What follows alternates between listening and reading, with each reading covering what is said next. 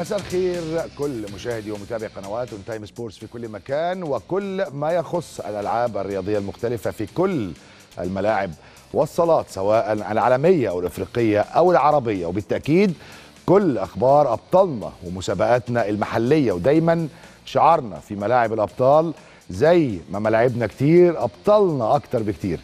ضيوف حلقتنا النهارده في ملاعب الأبطال اتنين من بطلات مصر. في رياضة الكاراتيه. هيكونوا معانا النهارده كابتن أحلام حمدي ذهبية العالم في الكاراتيه البطوله اللي خلصت آه، يعني من أيام والبطل حققت الميدالية الذهبية في الفردي في وزن 55 كيلو جرام وبطلة العالم أيضا كابتن سهيلة أحمد لاعبة منتخب مصر للكاراتيه طبعا في الفرق واللي حققت الميدالية الذهبية البطولة اللي أقيمت في الإمارات وحققوا أبطالنا عديد من الميداليات هنتكلم عنهم. الحقيقة الاثنين بطلتين كبيرتين حققوا نتائج مميزة في أو مع بعثة مصر اللي حققت المركز الثاني في بطولة العالم في إنجاز للكاراتيه المصري بالحصول على ثمان ميداليات في بطولة العالم بواقع ثلاث ذهبيات وفضيتين وثلاث برونزيات.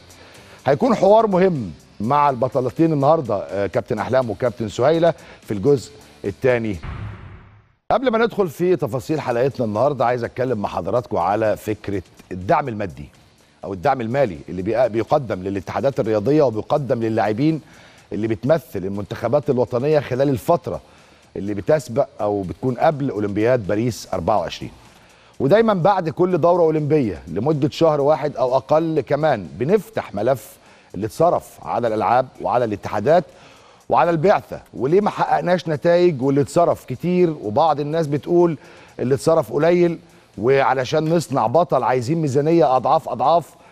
طبعا آه، من المصاريف اللي اتصرفت وكلام كتير وفي النهاية الموضوع بيتقفل وخلاص. وبنبدأ في معترك الانتخابات في الاتحادات وبعدها الاستعداد للدوره ال- دورة الألعاب اللي بعدها. وكل مرة نفس السيناريو ونفس الكلام. يعني حتى الكلام ما بيتجددش. يعني نفس الكلام اللي بيتقال. طيب يا عم إبراهيم يا مزين أنت عايز مننا إيه وعايز تقول لنا إيه؟ الموضوع بسيط جدا ومش محتاج لأي هيصة أو كل الهيصة اللي بتحصل في في الموضوع ده. البداية لازم كل اتحاد يقدم خطته والمتوقع إنه هيحققه ويحدد بالظبط هيعمل إيه وعشان يحقق ده محتاج معسكرات وبطولات يشارك فيها والبطولات دي بتساوي كام؟ وكمان مصاريف اللعيبة والأجهزة الفنية دي بتساوي كام؟ ولازم هن... آه، طبعا لازم نفصل ما بين الدعم اللي بيتقدم للاتحاد بشكل عام والدعم اللي بيتقدم للاتحاد علشان الاستعداد للأولمبياد أو دورة الألعاب الأولمبية.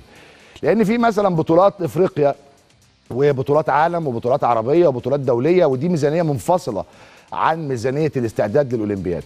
يعني ما ينفعش نقول الاتحاد ده مثلا بياخد 10 جنيه وما حققش ميدالية في دورة الألعاب الأولمبية.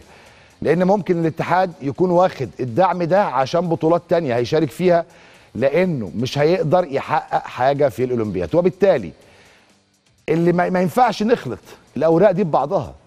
ولازم وزارة الشباب والرياضة واللجنة الأولمبية المصرية يحددوا في تقديم الدعم إن ده مخصص للأولمبياد وده مخصص للدعم العام للاتحاد والبطولات المحلية. علشان كده أنا أخدت المبلغ ده وهقدر أحقق إيه؟ في الأولمبياد عشان لما نيجي نحاسب مجالس إدارة الاتحادات ونحاسب الجهاز الفني واللعيبة نقول إحنا عملنا خطة شكلها إيه واتنفذ منها إيه والنتيجة كانت إيه. إنما أرقام ونتوه في النهاية ما بين كانت الفلوس دي علشان إيه واتصرفت إزاي دي حلقة هنفضل ندور فيها من غير ما نلاقي أي حلول. طبعا النقطة الثانية والمهمة أيضا لازم نتكلم فيها لازم نفرق ما بين مصاريف وتكاليف كل لعبة عن الثانية يعني في ألعاب ورياضات تكلفتها كتير جدا بسبب الأدوات المستخدمة وده بيخلي طبعا آه، اللي بيحط آه، خطة الدعم عامل حسابه على ده. يعني في لعبة مش محتاجة أدوات كتير. يعني في الالعاب مش بتحتاج أدوات بمبالغ كبيرة يعني. وفي آه، لعبة تانية بتحتاج أدوات وبتحتاج مصاريف كتير جدا مثلا زي لعبة الخماسي. دي خمس ألعاب. طبعا كل لعبة ليها احتياجاتها الخاصة وليها المتطلبات المالية بتاعتها فلازم نفرق.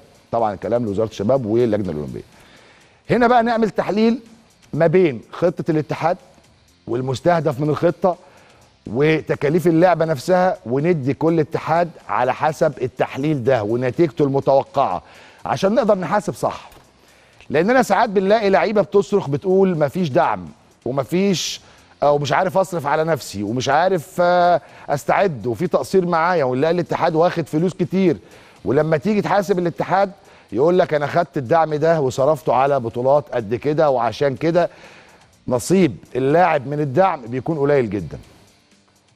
طبعا إحنا لسه بدري وبنحط وبنقول الكلام ده وبنحط النقط على الحروف من البداية قبل بداية عام 22 عايزين نبدأ التنفيذ الفعلي لدورة الألعاب الأولمبية باريس 24 عشان نقدر نحقق ميداليات ترضينا وترضي وتحقق طموحاتنا وخلال الفترة دي نحقق بطولات كتير. بنتكلم عن طموح كبير دلوقتي للشارع المصري على المنتخبات ال- الوطنية الأولمبية. بعد دورة طوكيو ست ميداليات على طموح الشارع المصري وكل متابعين الرياضة المصرية. سمعنا السلام الوطني في الدورة اللي فاتت. هينطلب منكم أنا بكلم الاتحادات واللجنة الأولمبية بجد. هينطلب من منكم إن نسمع النشيد الوطني أكتر من مرة في الدورة الجاية. فالموضوع بقى صعب بقت الموضوع مش مش سهل. لا يبقى لازم نستعد من دلوقتي نبدأ نحدد الخطط بتاعتنا. بتمنى بتمنى الحاجة دي بتمناها جدا والله العظيم بجد. كل اتحاد يروح كده للوزارة يقدم لهم الميزانية أنا عايز الميزانية دي علشان أنا هعمل ثلاث ميداليات هعمل خمس ميداليات هعمل ميداليتين. ولو ما عملتش حاسبني وامضي لك على كده. هل في رئيس اتحاد يجرؤ إنه يعمل كده؟ يقدم للوزارة أنا عايز الدعم ده أنا عايز مثلا 10 مليون 20 مليون 30 مليون عشان أجيب ثلاث ميداليات. واللي هيجيب الثلاث ميداليات فلان وفلان وفلان بدون توقعات. زي ما قلنا قبل كده التوقع هو هو تنجيم. هو ضرب بالغيب. لا في الرياضة واحد زائد واحد بيساوي اتنين. ده علم. ده علم. إنما اعتمادنا ساعات بيكون على لعيبتنا في الفروق الفردية اللعيبة اللي عندها فروق فردية. ده اللي بنتكلم فيه. لازم يكون خطة واضحة لكل اتحاد ويقدمها ويعلنها. إحنا هنجيب ميداليتين أو ثلاث ميداليات وفي اتحاد تاني يقول أنا مش هقدر أجيب ميداليات. يحترم يحترم طبعا. هي دي الفكرة. طيب سؤال حلقة النهارده هو مش سؤال طبعا هو رسالة. وجه رسالة أو كلمة لأبطال مصر في الكاراتيه. بعد تألقهم في بطولة العالم.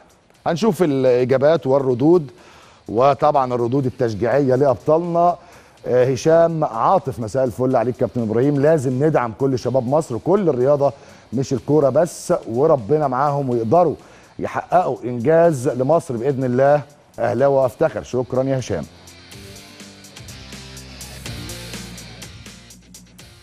محمد حمادة أنتم أبطال ودايما على قدر المسؤولية ولكن وراكم وكلنا وكاتب ولكن وكلنا وراكم يا أبطال. شكرا محمد حمادة على دعمك. فادي محمد بيقول مساء الفل عليك كابتن إبراهيم. لعيبة رجالة وعلى قد المسؤولية وتحياتي ليك تحياتي ليك يا فادي.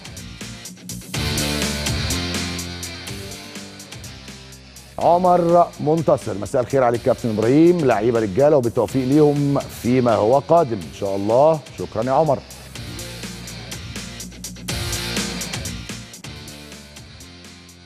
آه عمر إبراهيم أو عمير إبراهيم بيقول أبطال باسم أفريقيا الوطن العربي بأكمله. التوفيق لأبطال مصر. شكرا يا عمير.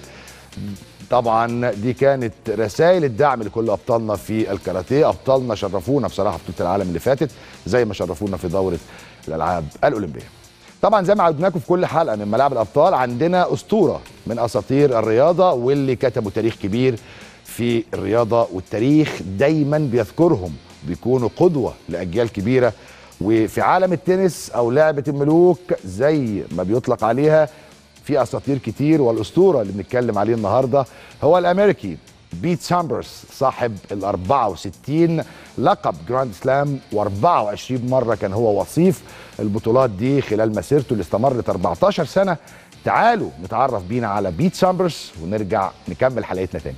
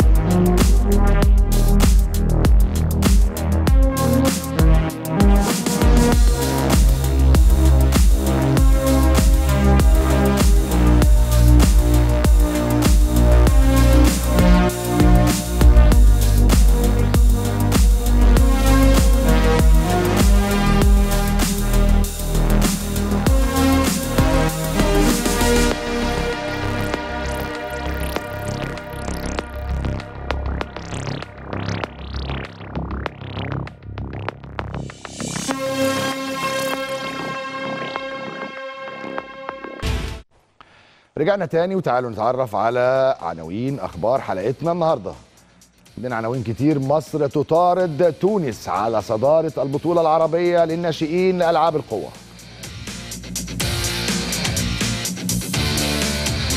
مصر تحصد ثلاث ميداليات في ختام البطولة العربية للدراجات.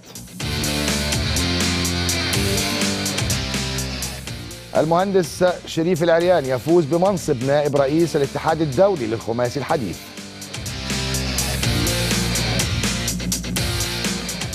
الجمعة إن شاء الله انطلاق البطولة الأفريقية للكاراتيه في استاد القاهرة.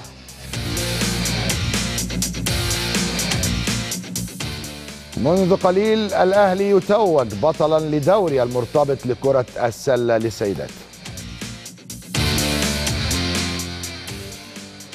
منتخب الهوكي يخسر من باكستان في بطولة العالم للشباب في الهند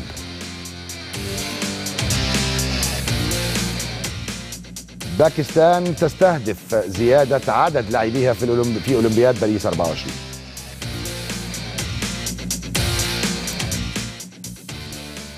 اتحاد كرة السلة الصيني يشكل لجنة لإدارة المنتخبات قبل الأولمبياد لسه الحلقة مستمرة. فاصل ونواصل.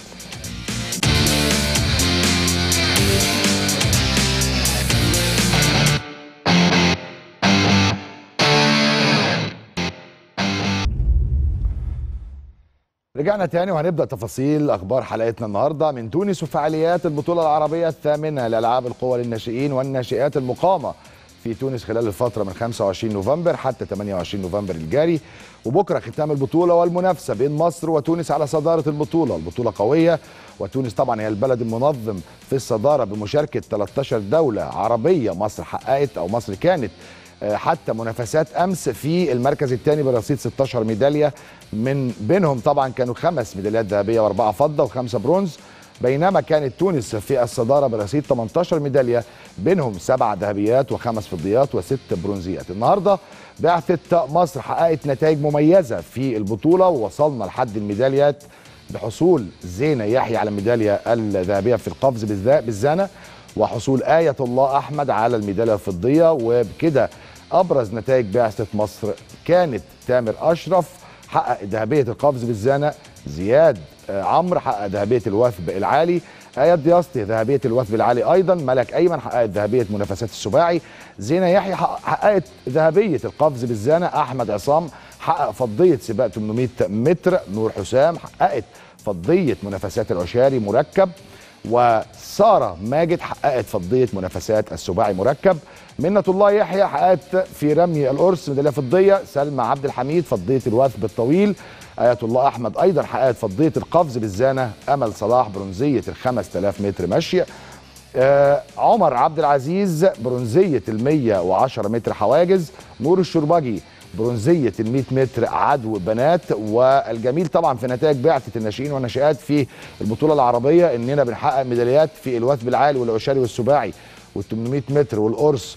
يعني عندنا مواهب في المنافسات المختلفة دي لألعاب القوة من الناشئين والناشئات. يجب إن إحنا نشتغل عليهم يجب إن إحنا نرعاهم علشان نحقق ميدالية. نفسنا في ميدالية أولمبية في ألعاب الأرقام والأمتار إن شاء الله وأبطالنا وإن شاء الله نقدر نحقق الميداليات دي. مستنيين ميدالية أولمبية في ألعاب الأرقام إن شاء الله.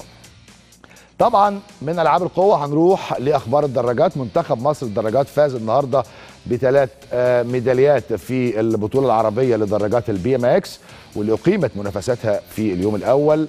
في مدينة المستقبل وذلك طبعا في ختام البطولة العربية للدراجات اللي اختتمت النهارده واللي كانت بدأت بسباقات الطريق في ثم سباقات المضمار ثم سباقات الدراجة الجبلية. واختتم اليوم بسباق واستمرت ال BMX المنافسات ال BMX لأكثر من 13 يوم بمشاركة أكثر من 400 لاعب ولاعبه من الشباب والكبار ومتحدي الإعاقة. وجاءت نتائج ال BMX دراجات طبعا ال BMX الكبار. طبعا كانت النتائج مصرية خالصة حيث فاز فاز ثلاثي منتخب مصر عبد الرحمن ماهر ومحمد عفيفي وعبد الرحمن سالم بالمركز أو المراكز الثلاثة الأولى للسباق على الترتيب. طبعا ليحصدوا بذلك ميداليات السباق الذهبية والفضية والبرونزية فيما جاء الإماراتي عبد الله الحسني في المركز الرابع وجاء لاعب منتخب مصر نور الدين أحمد في المركز الخامس. وكان في مسابقات الدرجات الجبلية واللي أقيمت منافساتها بمحمية وادي دجلة واللي اختتمت أمس بمشاركة 8 دول وكانت طبعا منافسات شرسة جدا في الدراجات سواء الجبلية أو على الطرق. من الدراجات هنروح لأخبار الخماسي الحديث المهندس شريف العريان رئيس اتحاد الخماسي الحديث المصري والأمين العام للجنه الأولمبية المصرية يفوز بمنصب نائب رئيس الاتحاد الدولي للخماسي الحديث اللي أقيمت النهارده طبعا في مدينة موناكو في فرنسا. والانتخابات أقيمت أونلاين بعد حصول وحصل على مهندس شريف على 53 صوت بنسبة 67.9 من عشرة من إجمالي الأصوات. يعني مصر بقى عندها دلوقتي نائب رئيس الاتحاد الدولي للعبة كبيرة زي الخماسي الحديث.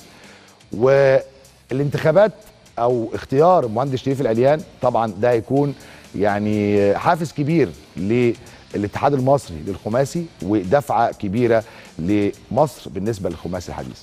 طبعا آه إنك تجمع الجمعية العمومية وتقدر تناقش وتشرح آه الانتخابات آه عن طريق الأونلاين بتكون الموضوع صعب جدا لأنها تتوقف على يعني التواجد المفروض يعني يكون في ال face to face لإقناع المرشحين أو المصوتين إن هم يصوتوا لك ولكن المهندس شريف العريان بنبارك له كلنا على المنصب الجديد واللي بنتمنى يكون إن شاء الله خير للرياضة المصرية. عبد المنعم الحسين رئيس اتحاد السلاح فاز بعضوية المكتب التنفيذي للاتحاد الدولي للسلاح سلام سلام كده عندنا رئيس الاتحاد الدولي للخماسي و المكتب التنفيذي الآن في السلاح لأول مرة في تاريخ مصر نحصل على هذا المنصب في الانتخابات اللي أقيمت في لوزان النهارده. من الخماسي نروح للكاراتيه والبطولة الإفريقية للكاراتيه. هتنطلق يوم الجمعة إن شاء الله آه على الصالة آه صالات استاد القاهرة إن شاء الله.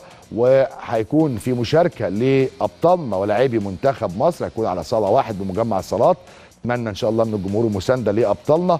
وبنتمنى لهم إن شاء الله التوفيق زي ما بيشرفونا في المحافل الدولية الكاراتيه. طبعا في البطولة في البطولة دي بطولة أفريقية. في 18 منتخب أه لحد دلوقتي طبعا أكدوا إن هم هيشتركوا في البطولة من أه طبعا الدول الأفريقية. هتشمل البطولة مسابقات طبعا الكوميتيه والكاتا وهيشارك فيها عدد كبير جدا من اللاعبين واللاعبات.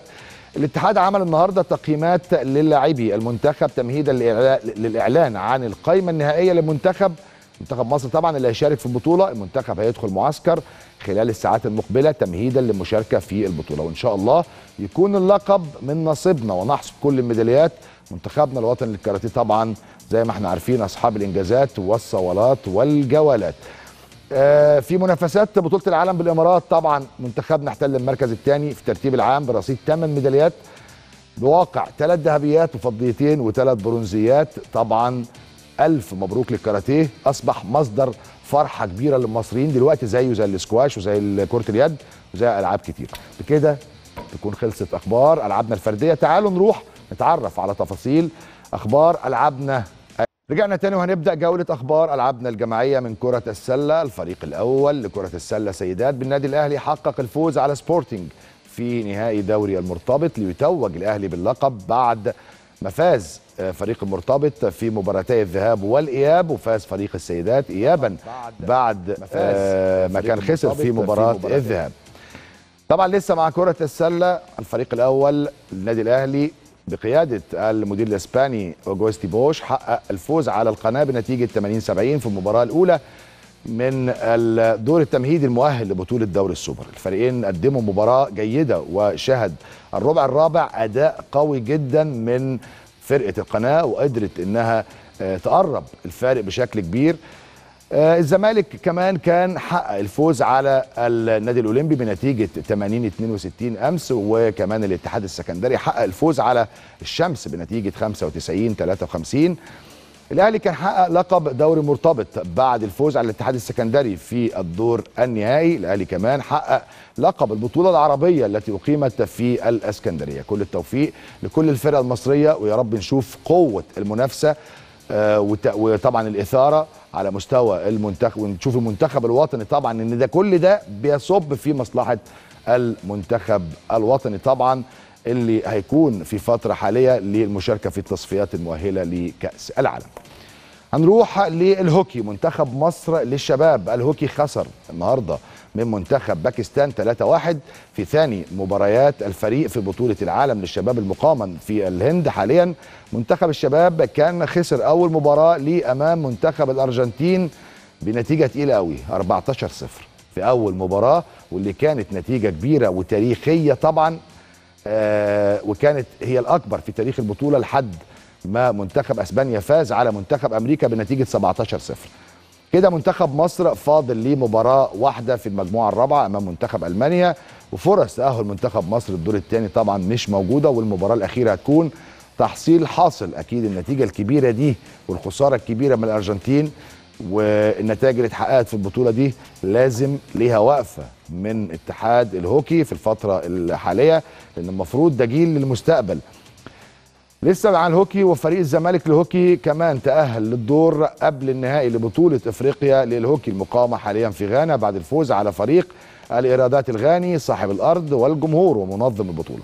بنتيجة 1-0 كمان فريق التصنيع المصري اتأهل لنفس الدور بعد الفوز على وازليندو الكيني بنتيجة 4-2 وفي حين ودع فريق الشرقية الدخان منافسات البطولة الأفريقية بعد خسارته أمام كادا ستارز النيجيري بنتيجة 2-1 طبعا بالتوفيق للفرق المصرية المشاركة إن شاء الله في البطولة وإن شاء الله يعني نتمنى فريق منهم يحقق اللقب. طبعا بكده تكون خلصت أخبار ألعابنا الجماعية لكن لسه معانا أخبار من أولمبياد باريس. أخبار باريس أو دورة الالعاب الأولمبية باريس اللجنه الأولمبية في باكستان أعلنت إنها بتستهدف زيادة عدد اللاعبين المتأهلين في رياضة الرماية بالأولمبياد باريس 24 طبعا وده بعد ما الاتحاد الدولي أعلن في وقت سابق عن زيادة حصة قارة آسيا المشاركة في الأولمبياد القادم اللجنة الأولمبية في باكستان. قالت إنها شاركت بثلاث لاعبين في أولمبياد طوكيو 2020 وإن قرار زيادة حصة قارة آسيا من 38 رياضي ل 48 رياضي هيكون في آه، يعني مصلحة الرياضيين في باكستان.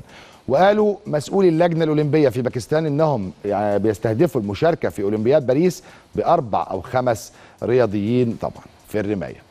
لسه مع أخبار باريس 24 اتحاد كرة السلة الصيني أعلن تشكيل لجنة مهمتها النهوض بمستوى منتخبي الرجال والسيدات وتأهيلهم للمشاركة في أولمبياد باريس 24 الاتحاد الصيني قال إن اللجنة اللي تم تشكيلها حديثا هتتولى إدارة كل ما يخص المنتخبين سواء الرجال أو السيدات وهيكون ضمن م- مهام اللجنة دي وضع الخطط الفنية للوصول بالمنتخبين لأعلى مستوى قبل أولمبياد باريس الاتحاد قال كمان إن اللجنة هتكون مهمتها بشكل كبير في إدخال طبعا عنصر التكنولوجيا من خلال تحليل أداء اللاعبين والمنتخبات طبعا وإن ده هيكون ليه أثر إيجابي على مستوى الفني لمنتخبات منتخب السيدات كان حقق المركز الخامس في أولمبياد طوكيو 2020 والاتحاد الصيني قال إن الهدف هو حصد ميدالية في أولمبياد باريس 24 الصين بدل حطت في دماغها حاجة هنشوف نتائجها في الدورة الجاية. بكده تكون خلصت أخبار حلقتنا النهارده. هنطلع فاصل ونرجع نستقبل كابتن أحلام حمدي لاعبة منتخب مصر للكاراتيه بطلة العالم والكابتن سهيلة أحمد أيضا بطلة العالم في الكاراتيه. ولكن بعد الفاصل لا تذهبوا بعيدا وابقوا معنا.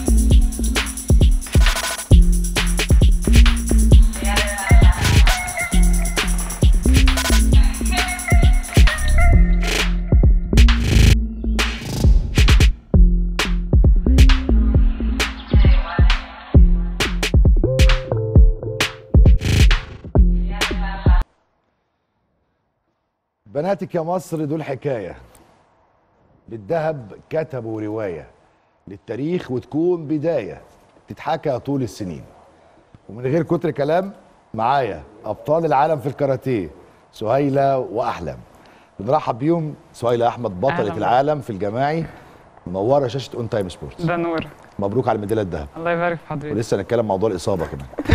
بطلتنا طبعا أحلام حمدي البطلة الكبيرة بطلة العالم ذهبية العالم في الفردي في وزن 55 كيلو صح؟ أيوه صح. مبروك الميدالية. الله يبارك في حضرتك. وعايزين كده مع البداية كده نتكلم عن المباريات اللي انت لعبتيها في بطولة العالم. أنا لعبت أول ماتش مع أوكرانيا.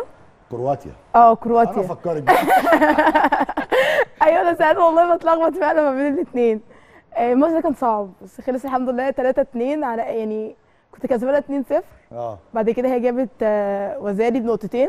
في آخر آه، 15 ثانية. تمام. بعد كده السيرج اتلغى وكان الماتش يوصل لترجيح. فالمهم جبت على آخر ثانية نقطة. خلص 3 2 الموضوع الحمد كان لله. صعب على آه فكرة، كان آه. صعب. الماتش كان مهم. وال- والمباراة اللي بعديها كمان انت كسبت تركيا تركيا 10 2 10 2 والمباراة اللي بعدها قبرص 9 0 وروسيا 6 3 وأمريكا انسحبت طبعا للإصابة.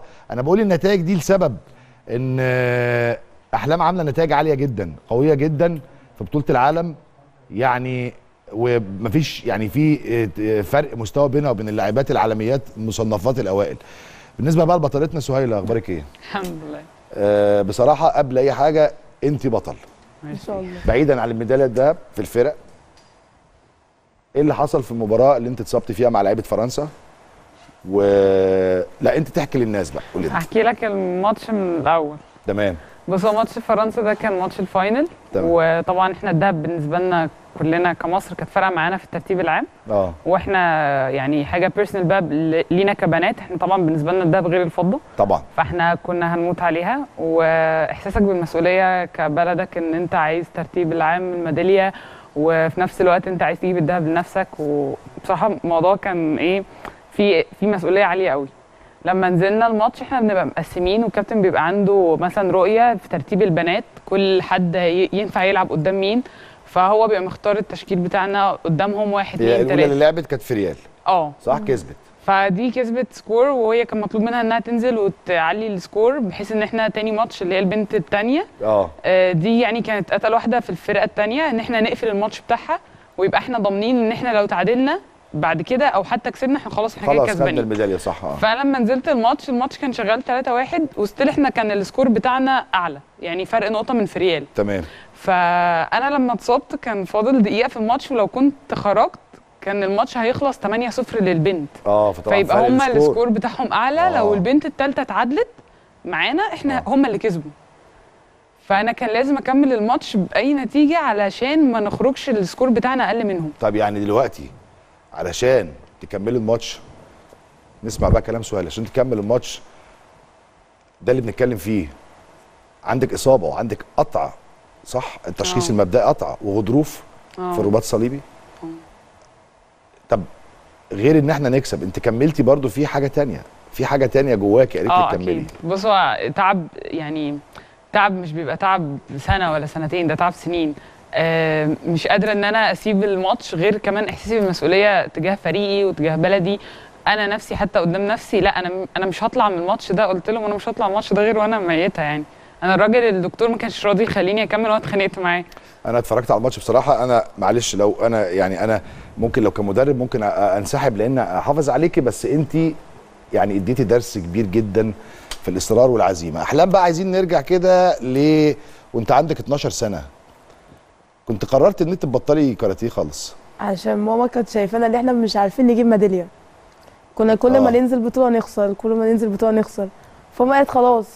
يعني أنا شايفة إن مفيش أمل. راح كابتن أشرف لا لها لا استني. كابتن أشرف مصطفى. كابتن أشرف مصطفى اللي هو كابتني. آه. لا لا استني. البنات دي ليها مستقبل بارع يعني. بصح كان عنده ك- يعني كان عنده حق في في اللي هو قاله. الله عليه والله بجد. يعني رؤية مدرب طبعا رؤية آه، خبير في اللعبة. إن آه، من بنت كانت هتبطل الكاراتيه خالص ممكن بتخسر لأسباب أسباب ممكن مستوى أسباب ممكن يعني شوية ساعات بيقولوا تحكيمية شوية. آه. يعني اللي سمعناه ولكن هي كملت وأصرت. بعد 12 سنة بعد ما قررت أنت تعتزلي وخلاص وتوقفي بعد كده كابتن أشرف قال لك هترجعي تاني. ورجعت فعلا تاني. آه. بعد كده جت بطوله في العالم. تصفية آه. خسرت بعد كده بعدها خسرت بعد كده كسبت. من ساعتها بقى وأنا ماسكة المنتخب. طيب. ماسكة ميزان 55 لا لا أنا عايزك ترجعي شوية كده بطولة العالم آه، للشابات. آه تحت 21 اللي كانت في قبرص. آه في تشيلي. في تشيلي. تحت آه، 21 تحت 21 سنة. ميدالية برونزية. برونزية. دي أول بطولة عالم تعملي أول بطولة تعليم آه، بالنسبة لي فعلا. طب الحمد لله. الحمد لله الحمد أكيد لله. دلوقتي أنت آه، بطلة العالم ذهبية العالم. انسات ده. كان حلمي من وأنا صغيرة. طب الحمد لله. واتحقق طيب آه شفت ماتش سهيل اللي كانت بتلعب آه. آه مع لعيبة فرنسا. أنا كنت بره معايا يعني. كنت بشجعها كده من قلبي فعلا. ما هو ده اللي إحنا عايزين نعرفه بقى. شعور شعوركم مع بعض. لما اللعبه يعني دايما بيقولوا الألعاب الفردية أو الكاراتيه الألعاب القتالية عامة بيقولوا إنها لعبة فردية. ولكن هي في, الجماعي محتواها بتفرق. لعبة جماعية. يعني هو في الفردي ده لوحدينا إنما في الجماعي لا. حتى اللي بي... يعني قاعد بره بيبقى مهتم قوي باللي بيلعب. أحلام حتى في الفردي آه، أنا. سامع صوت كل المنتخب بيشجعها أيوه. صح؟ أيوه صح. أنا بتكلم على أنا الجماعيه كنت في كده. سامعاهم كلهم آه. فعلا. صح؟ أنا بتكلم على. الجماعيه في الموضوع ده. آه لا أنا كان يعني كان اللعبة روح محتاجة فريق spirit قوي طبعا. يعني اللعبة أساسها spirit آه. فال spirit ده أنت آه بتدي لنفسك spirit بس أنت طبعا العوامل الخارجية الجمهور زمايلك المدرب اللي قاعد معاك على الملعب أكتر الحاجات اللي بتديك spirit أنت ممكن تبقى خسران وفي ثانية ولا ثانيتين تجيب الماتش وتجيب ثلاث نقط مثلا وتكسب. طبعا. بس ده مش بيجي برضو من من ال spirit بتاعك لوحدك. أنت بتبقى محتاج زقة وتشجيع وزمايلك وراك واثقين فيك ومدربك. فالسبيريت عندنا هو أهم حاجة. عشان كده بيفرق قوي ال ال يعني روح الجماعة. أكيد طبعا. يعني آه، أنا عايز أرجع بس للمباراة بتاعتك بعد إذنك. يعني سهيل عايزين نعرف يعني آه، قطع في رباط صليبي وغضروف. وقمت كملت دقيقة كاملة تقريبا 55 دي- ثانية صح؟ آه. ده, ده كان 55 دقيقه ثانية. و... بالظبط آه آه. 55 أيوه آه. أيوه صح؟ بالظبط. ووقعت تاني كمان أصلا في وقعت في آخر خمس وقعت في آخر مرتين. خمس آه. آه. وقعت مرتين. كان فاضل خمس ثواني وركبتي خانتني في آخر خمس ثواني وقعت تاني. بس قمت بسرعة بقى عشان الحكم كان هي يعني هيخرجني. فقمت بسرعة على طول وقفت عملت له كده. أنا أنا مصرية. طبعا طبعا أنا مصرية وهكمل. آه. والله فعلا يعني بناتنا بناتنا دايما بيضربوا يعني أروع الأمثال في في القتال. مش في طبعا مش في القتال أنا بتكلم على حتى في الألعاب ال- الدفاع عن النفس. زي ما إحنا شايفين مصابة بط صليبي وغضروف وقامت كملت. طبعا أكيد يا أحلام أنت مريتي بكل المشاكل دي في حياتك عشان توصلي للميداليه الذهب يا ده كتير. زي عايزين نعرف أمثلة إيه اللي حصل بقى يعني كده في حياتك؟ زي ظلم بقى ومثلا يجوا لي يعني قاعدة في البيت عادي يقولوا لي لا في تصفية دلوقتي. آه. تعالي حالا في تصفية. يا جماعة طب أنا قاعدة في البيت مش عاملة حسابي ان أصلا في تصفية. كتير بقى حصلت كده يعني مش مرة أو مرة لا كتير. يعني مثلا جت في مرة قبل بطولة العالم بالظبط قالوا في في تصفية عندك يوم الخميس الساعة 8 بالليل. فيعني في عز زحمة القاهرة. آه. فاللي هو طب يا جماعة ولوحدي يعني مش مع مش مع بقية المنتخب. طبعا خدت مشروع وطلعت على ال- ورحت؟ التصفية وكسبت يعني وكسبت. وكسبت. والحمد لله. بس ليه بتحط واحد مثلا في ضغط وحش؟ أنا كنت بمشي في الشارع بكلم نفسي. طيب هو ده بنتكلم فيها برضو دي مشكلة شوية في عملية التنظيم أو عملية الترتيب بالنسبة للاتحادات عامة. ساعات بيتضغط عليهم في وقت معين. وعايزين نعمل الحاجة دي في الوقت ده أيوه. فبيضغطوا اللعيبة. ولكن يعني بيبقى ضغط نفسي بقى وضغط كل حاجة اللي هو أنا مش في الشارع بكلم نفسي وأعيط. والله طب بس بس أنت رحت التصفية؟ ورحت التصفية وكسبت الحمد لله. أنت عملت تصفية ثلاث مرات عشان تلعب بطولة العالم دي. آه، صح. ثلاث مرات مرتين. مرتين ولا ثلاثة؟ أنا اتقال لي ثلاثة ثلاثة قبل ال- الاستاد آه ثلاثة ثلاث مرات عشان صح؟ أنا قبل الاستاد كمان. أحلام على فكرة أنا أنا يعني أنا عارف عنك كل حاجة وأنت مش عارفة عنك أنا من كترهم أنا مش عارفة يعني مش قادرة أقول أقول لحضرتك قد إيه. طبعا. كتير ما شاء الله التصفيات بقى.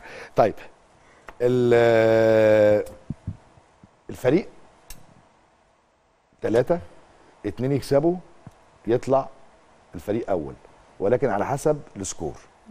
تمام؟ آه. اللاعب الأول دايما بيكون عليه ضغط. مم. والله الثلاثة عليهم ضغط صح؟ هو كل واحد عليه ضغط ب- أنا بطريقة فكرت معينة. الثلاثة عليهم ضغط. بص هو ممكن حد يكسب واثنين يتعادلوا فأنت كسبان. آه. وممكن حد يكسب وحد يتعادل والتاني يخسر بس فرق نقط أقل من اللي التاني كسبها فيبقى الفرقة برضو كسبانه فالجماعيات دي بتتحسب بطريقة مختلفة. يعني ممكن الأولاني ده آه. ينزل يعلي score والتاني يتعادل التالت يخسر مثلا فرق أربعة مثلا. والتاني كسبان فرق خمسة. يبقى الفرقة بتاعتك كسبان. الموضوع صعب يعني آه يعني محتاج كمان استراتيجي من المدرب.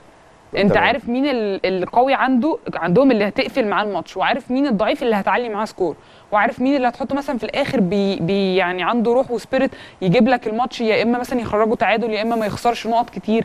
هي بقى استراتيجي تحط مين؟ أنت مثلا معاك ثلاثة قدام ثلاثة تحط آه. مين قدام مين؟ طب كابتن هاني قشطة طبعا أكيد دار الموضوع ده آه. بيدير الموضوع ده كويس. بصراحة آه. يعني مدرب عالمي بصراحة. آه. هو هو فرق معانا في إحنا لعبنا أربع ماتشات كمان في اليوم الأول. آه، مع بلاد تقيلة أوكرانيا وإيطاليا واليابان ثلاث يعني كان ثلاث ماتشات ورا بعض أتقل من بعض وكلهم فيهم على الأقل اثنين أبطال عالم في البطولة دي فكانت الماتشات تقيلة وكانت بتبقى محتاجة دي إحنا في ماتشات كتير كسبناها فرق إن حد يكسب score آه. حد يتعادل حد يخسر فرق مثلا سكور معين ونعدي الماتش كده فهي كانت سياسة مين ينزل قدام مين دي كانت أهم حاجة معانا في ال- في موضوع الجمعية يعني. طبعا ده خطة زي ما بيحط خطة مدرب كرة القدم نفس الحكاية بيحط خطة مدرب الكاراتيه. آه، أحلام دلوقتي عايز يعني آه، ندخل شوية ع- مع ال- العيلة. أختك إسراء بتلعب كاراتيه. يعني وكانت بطلة برضو وهي صغيرة في الكاراتيه. كانت أحسن مني. وكانت أحسن منك. والله يعني ده ده يعني ده إنكار ذات وحاجة جميلة جدا بصراحة يعني. يعني طبعا بنقدم لها التحيه بطلة كبيرة بطلة مصر برضو إسراء إسراء حمدي. آه العيلة كان دورها إيه أو الأسرة دورها إيه في دعمك أنت وأختك إن أنتوا تكملوا في الكاراتيه؟ وإحنا صغيرين كانت عيلة بابا وعيلة ماما كانوا رافضين. آه. إزاي بنات تلعب كاراتيه ولا ده مش لعبتهم دي لعبة ناشفة إزاي يعني؟ فماما لأ قعدت تحارب معانا لحد الآخر لحد يعني لحد اللحظة اللي أنا فيها دلوقتي. تحية ليها والله. والله فعلا تحية تحية لكل أم يعني بتتعب عشان ولادها يكونوا كويسين في دراستهم وكويسين طبعا في هي الرياضة فعلا كمان. بتحارب معانا لحد دلوقتي يعني ربنا يعني ربنا يخليها لنا فعلا. طيب انت بدايتك كانت في نادي سيدي جابر صح؟ آه في نادي السجابر آه. بعد كده رحت نادي الأولمبي كانت اعاره سنة. تمام. بعد كده كان بنك الأهلي. وبعدين سموحة. بعد كده سموحة. سموحة ثلاث شهور وبعد كده اتحولت على طول بنك أهلي. آه. اسكندرية. تمام. بعد كده رحت بنك أهلي جيزة. قعدت فيه سنتين. وحاليا دلوقتي؟ آه، مستقبل وطن نادي مستقبل وطن في الجيزة ده. في الجيزه صح؟ لا في ولا- القاهرة. في القاهرة؟ في القاهرة؟ الجي... ما إحنا ما القاهرة الكبرى. أنا ما أعرفش. هو عند في البحر الأعظم على ما أعتقد صح؟ طيب بالنسبة للتجهيز لبطولة عالم والتجهيز بطل في الألعاب الفردية خصوصا في الألعاب اللي زي دي اللي بتحتاج طبعا آه، الناس شايفاها إنها بتتلعب بفروق فردية إن دول ناس جامدة فبتقدر تضرب بتقدر آه إنها تكسب برجليها وإيديها ولكن ما يعرفوش إن في تعب وفي حرمان وفي تخسيس وفي مجهود يعني عالي جدا وفي مصاريف. طيب السؤال هنا. أحلام عندك sponsor عندك راعي لا، ما عنديش sponsor ما عندكيش راعي بجد؟ ده بجد. سؤال طب عندك راعي لا. مفيش مفيش sponsor ماما؟ ماما ماما هي الراعي الأسرة هي الراعي ماما أيوه بالظبط.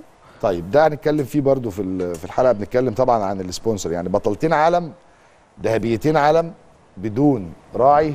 يعني شكرا للعيلة وشكرا للأسرة وشكرا للأهل اللي هم الراعي الرسمي بتاعهم هم اللي بيصرفوا. يعني الرعاة بتوعنا ال- الناس الجميلة يعني. أحلام ذهبية العالم في الفردي سهيلة أحمد ذهبية العالم في الجماعي الاثنين بدون sponsor بدون راعي. يعني بمجهودهم الفردي. أتمنى إن شاء الله نشوف لهم sponsor إن شاء الله في البطولات اللي جاية. وبنأمل في ذهب أكتر. بإذن الله. طيب كابتن سهيلة بتلعبي في نادي الطيران صح؟ آه. طيب الدعم اللي بيعملوا لك النادي إيه بالظبط؟ بص هو أنا نادي الطيران لسه ناقلة فيه السنة دي. بصراحة آه. أنا رحت نادي الطيران ليه؟ عشان أنا آه، ما كنتش بلاقي دعم آه، من قبل كده يعني كان دعم مادي. يعني آه. مثلا نادي الطيران بيديني مرتب في الشهر عندي مدربة وعندي مدير الفني والرئيس الجهاز بيجوا لي البطولات يقفوا ورايا يكاتشنوا لي يشجعوا لي. لو عندي مشكلة في الاتحاد بيروحوا يتكلموا آه، متابعيني في كل البطولات. فده كان أهم الأسباب اللي خلاني أنقل من النادي مثلا اللي أنا كنت فيه طول حياتي إن أنا أروح نادي تاني. ده اللي خلاني أبدأ أدور على حاجة زي كده. تمام. فهو كان الدعم اللي هو النفسي والمادي أكيد ده كان أهم حاجة بسبب رئيسي يعني. أكيد طبعا الألعاب دي بتصرف والألعاب دي بتحتاج مجهود كبير في يعني المصاريف المادية عامة يعني. هنطلع لفاصل نرجع تاني.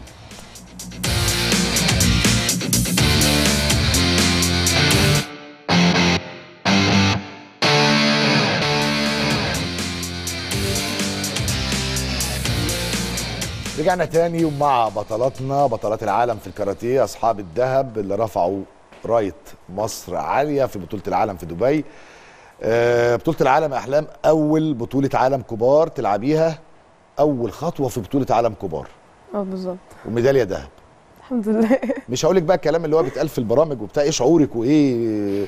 لا أنا عايز أعرف شعور الناس اللي حواليكي ال team اللي تعب معاكي. يعني على سبيل المثال كابتن أشرف مصطفى كابتن محمد جمال جيمي كابتن الماني صح؟ أنا حبايبي كلهم يعني. شعورهم إيه لما هم شافوا إن هم حققوا أمالهم فيكي؟ هما يعني فرحوا يعني كلمة فرحوا دي قليلة عليهم. هما كانوا بيغنوا لي ورقص- ورقصوا لي ويعني في الاستقبال في المطار. آه يعني كنت مصدومة أنا كنتش عارف إن هما جايين. آه. أنا اتصدمت بس فر- فرحت في نفس الوقت إن لقيت كل اللي فعلا اللي بيحبني جم. يعني تمام. شكرا ليهم كلهم بجد. تستاهلي كل خير طبعا تستاهلي بطلة كبيرة وما شاء الله عليك. طيب الكاس ده كان بطولة إيه؟ كانت قبرص آه، آه، بحر متوسط. قبل. بطولة العالم بالظبط. آه انت جبت فيها جبت دهب. دهب مظبوط. ما شاء الله دهبت برضو مع ناس آه، كانت مهمة يعني. إيطاليا وفرنسا والناس دي. يعني.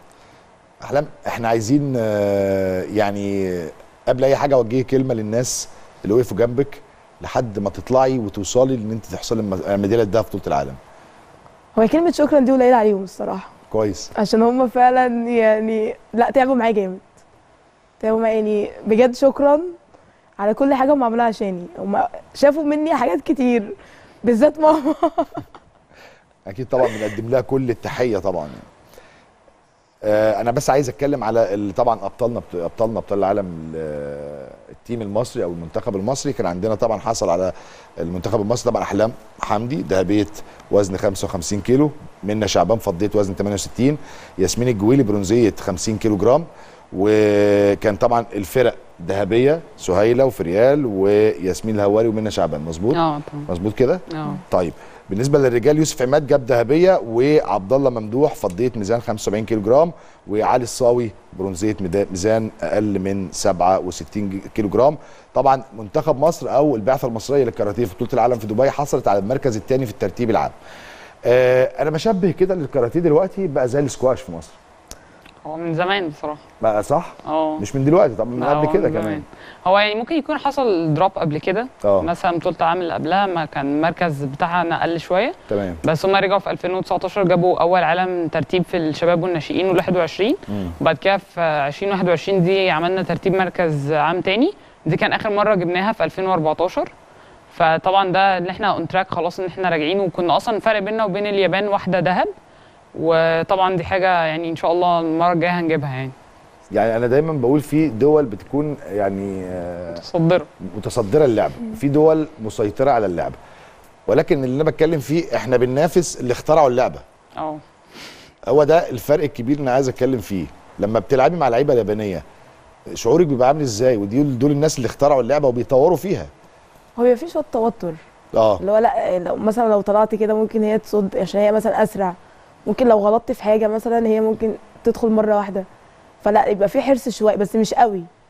هو عشان ما يتغ... ما يغلبش عليا. اللي هو لو يعني لو خفت قوي لا هخسر. تمام. إنما لو لو يعني في حرص بس شوية بص... يعني صغيرين لا إن شاء الله هجيب الماتش. حتى مع اليابان. حتى مع اليابان. إحنا نكسب أي حد. نكسب أي حد. وعايز أسألك على الماتش بتاع الروسيه أنت لعبت في ال semi-final في النص النهائي مع الروسيه ودي آه. بطلة كبيرة من مصنفات الأوائل. ده فعلا. كسبتها 6 3 يعني أنا بصراحة كنت قاعد قلبي قلبي واقع في رجليا بصراحة. أنا بتفرج على الماتش. أنا ما كنتش 8 أعرف. 0 كمان هي بنت اتطردت فتبقى ال score لأحلام 8 0 أنا شفت لحد 6 3 وبصراحة ما هو ده ال score. الفعلي للماتش آه. بس لما حد بياخد انذارات لحد الطرد تمام. يبقى كأنه disqualified يعني هي كده كسبانة يعني score رسمي 8 0 لأحلام يعني أنت كنت ضاغطه على لعيبة روسيا لحد ما طفشتيها من البساط. بالظبط كده. بالظبط. هو الماتش كان مهم فعلا. أنا الماتش كان صعب. أنا نازلة مش عايزة أعرف مين اللي هلعب معاه آه. يعني أنا فعلا قبل ما أنزل أنا ما. سألتش حتى الكابتن أنا هلعب مع مين. برافو عليك. لا أنا نازله وخلاص. أنا هلعب وخ... أنا عايزة أوصل للدهب. فعشان كده أنا أنا بلعب. زي دايما بقول للعيبة حتى يعني في لعيبة في ألعاب تانية بقول له أنت مين أكتر دولة أو متفوقين اللعيبة المتفوقين في اللعبة؟ مثلا فيقول لي روسيا كوبا رو... فأقول له خلي دايما في دماغك حاجة. أنا رايح ألعب إن أكسب الناس دي. أيوه صح ولا لا؟ أيوه. عشان إحنا كسبنا. اليابان في ال semi-final في ال- في الجماعي. يعني كسبنا اليابان في ال semi-final والله إحنا عندنا الكاراتيه يعني طبعا هو كان يعني إحنا زعلانين إن الكاراتيه مش داخل الأولمبياد اللي جاية آه للأسف. وبنتمنى إن هو يعني يكون في يتجدول في الأولمبياد اللي بعديها إن شاء الله. بإذن شاء الله. ويكون لكم نصيب طبعا أنتوا لسه صغيرين في السن. كلكم نصيب إن شاء الله لميدالية أولمبية. يا رب. يعني طبعا علم مصر اترفع والسلام الوطني كان شعوركم إيه لما شفتوا في ريال؟ لعيبة كاراتيه. وانتوا لعيبة كاراتيه. وأول مرة دخول الكاراتيه في الأولمبياد. وفي ريال أشرف عملت ميدالية ذهب. عايز كل واحدة كانت شايفة الموضوع إزاي. أنا عيطت عيطت من كتر الفرحة. اللي هو يعني ما- ما شاء الله في الكاراتيه ووصلنا فاينل يعني وجابت الذهب. فلا كانت حاجة مشرفة جدا جدا لمصر فعلا. كانت رافعة راس المصريين كلها. أكيد والله. أنا واحد من الناس. أنا أنا فخورة بيها فعلا. كلنا فخورين بيها طبعا في ريال أشرف بطلتنا آه. الذهبية في الألعاب الأولمبية. سهيله اتفرجت على الماتش إزاي وشفت ماتش فريال إزاي النهائي؟ أنا عملت لها اشتراك في beIN Sports. لا بصراحة هو كان إحساس بالفخر. أنا حتى في الشغل عندي مثلا كانوا بيتفرجوا معايا على ماتشات فريال ومتابعينها. آه. وبصراحة كنت حاسة بفخر اللي هو لعب لعبتي أنا واللي هو الكاراتيه اللي جاب الميدالية الذهبية. بصراحة فريال يعني على المستوى الشخصي طبعا إحنا أصحاب. فأكيد كنت مبسوطه لها جدا. وإن لا الكاراتيه فعلا هو اللي عمل الإنجاز ده يعني حاجة بتثبت اللي هو إن إحنا فعلا في الصدارة دايما وإن إحنا محتاجين ناخد حقنا أكتر من كده في في الظهور يعني. يعني بصراحة في ريال من ساعة ما جابت أول لا الكاراتيه بقى الناس بتبص له بطريقة مختلفة. إحنا معاكم على فكرة إحنا من بدري وإحنا بنسلط الضوء على الكاراتيه. أكيد. يعني مش مش مش من دلوقتي لا بجد والله من بدري. و الكاراتيه طبعا من الألعاب الصعبة والألعاب اللي الناس ممكن آه، شايفة إن إحنا متفوقين فيها بس فعلا ممكن أبطالها مش معروفين شوية. طيب السبب إن مفيش انتشار لأبطال الكاراتيه. إيه السبب اللي أنت شايفاه من وجهة نظرك؟ لا ما يعني يعني مفيش انتشار مفيش ظهور لأبطال الكاراتيه. هل ممكن الميديا أنا بتكلم حتى وأنا في أون سبورت بقول هننقل كاراتيه بعد كده عشان أنتوا تعرفوا. هو أنا أصلا ذات نفسي ما بحبش اللي أنا يعني حد يعرفني ذات يعني لا إزاي؟ لازم أنا مش بحب. كده يعني. لا لا لا لازم لا هو هي. اتعودت يعني. أنا متعوده آه أيوه أنا كده. هو عشان اللعبة من زمان مش معروفه يعني مش مش معروفة. معروفة وسط ال- الجمهور بتاع الكاراتيه إنما آه. بره الناس مش عارفاها قوي. فاللعيبة نفسها هتلاقيهم متعودين إن هو محدش يشوفنا محدش يتفرج. علينا كده. إنما في ال... أظن ده من يعني ميديا و... وتسويق للعبة نفسها.